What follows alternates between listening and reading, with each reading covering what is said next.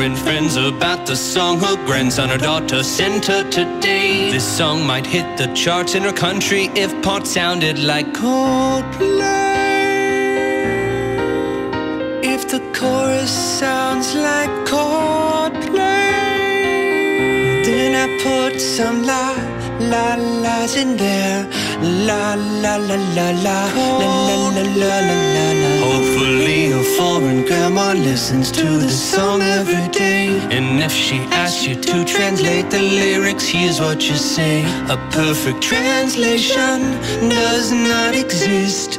Well, at least not in your language. But if you must know,